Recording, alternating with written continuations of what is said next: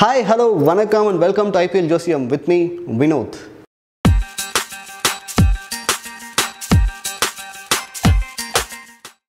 போன மேட்ச் பார்க்கும்போது வருத்தமாக தான் இருந்தது. இருந்தாலும் வேர்ல்டு கப்புக்காக ஒரு யங் டீமை ரெடி பண்ணிட்டு இருக்காங்கன்றது கவனிக்கும் போது ரொம்ப சந்தோஷமாக இருக்குது நம்ம ஹார்திக் பாண்டியாவையும் குருணால் பாண்டியாவும் பற்றி தான் சொல்கிறேன் ரெண்டு பேரும் அவ்வளோ சூப்பராக விளையாடினாங்க இன்ஃபேக்ட் ஹார்திக் பாண்டியா வந்து பவுலிங்லேயும் பேட்டிங்லையும் அவர் காட்டின பர்ஃபார்மன்ஸ் சூப்பராக இருந்தது இருந்தாலும் சென்னை கொஞ்சம் வின் பண்ணியிருந்தா சந்தோஷமாக இருந்திருக்கும் ஓகே அடுத்த match Chennai super kings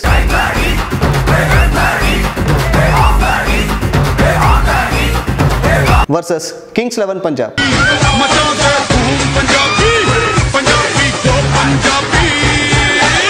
CSK பேட்டிங்கில் பார்த்தீங்கன்னா ராய்டு அண்ட் வாட்சன்.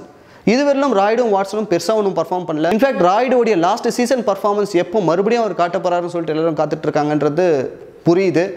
அடுத்து வந்து சுரேஷ் ரெய்னாவும் தோனியும் ரெண்டு பேரும் நல்ல ஃபார்ம்லேயே இருக்காங்க. ரெய்னா வந்து லாஸ்ட் மேட்ச் இந்த பால் அடிச்சவனே பொல்லாட் பிடிச்சதை அவர் நினச்சி கூட பார்த்துருக்க மாட்டார். இன்ஃபேக்ட் அவர் பிடிச்சாரான்னு கன்ஃபார்ம் பண்ணிட்டு தான் கிரவுண்ட் அவுட்டே அவர் வெளில போனார். ரெய்னாவும் தோனியும் ஒரு நல்லாவே ஃபார்மில் இருக்காங்க. அடுத்து கேதர் ஜாதவ். கேதர் ஜாதவ் வந்து லாஸ்ட் மேட்ச்சில் ஒரு டீசெண்டான ஃபிஃப்டி எல்லாரும் அவுட் ஆகிட்டு இருக்கும்போது கூட அதை பார்க்காம அவருடைய பர்ஃபார்மன்ஸ் அவர் சூப்பராக டீசெண்டான ஃபிஃப்டி அடிச்சுட்டு அதுக்கப்புறம் அவர் அவர் கேமை முடித்தார் அடுத்து பிராவோ பிராவோ வந்து லாஸ்ட் மேட்ச்சில் வந்து அந்த டைமில் வந்து ஒன்றும் பண்ண முடியாது. அடிச்சு தான் ஆகணும். ஸோ அடிச்சு ஆனார் அவுட் ஆகிட்டார் ஸோ அவருடைய பர்ஃபார்மன்ஸையும் குறை சொல்கிறதுக்கு இயலாது. பவுலிங்கில் சாக்கர் தாக்கூர் ஒரு நல்லாவே பர்ஃபார்ம் பண்ணிட்டு இருக்காங்க.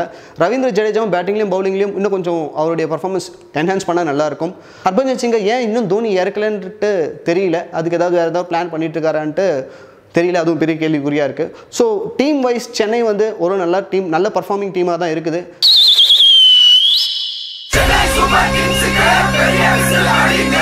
அடுத்து கிங்ஸ் லெவன் பஞ்சாப்.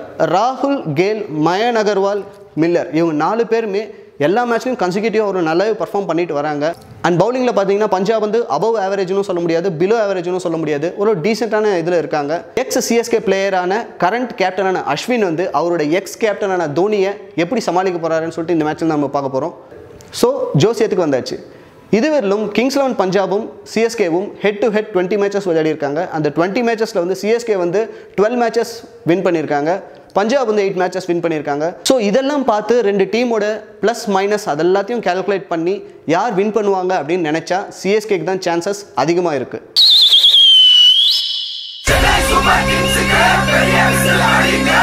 ஸோ இந்த வீடியோ பிடிச்சிருந்தா லைக் பண்ணுங்க. கமெண்ட் பாக்ஸில் யார் ஹையஸ்ட் ஸ்கோர் எடுப்பாங்க யார் ஹையஸ்ட் விக்கெட்ஸ் எடுப்பாங்க எந்தெந்த டீம் எவ்வளோ ஸ்கோர் எடுக்கும்னு சொல்லிட்டு கமெண்ட் பாக்ஸில் கமெண்ட் பண்ணுங்கள் until then this is Vinod Kumar signing off from நவரசபட்ரை bye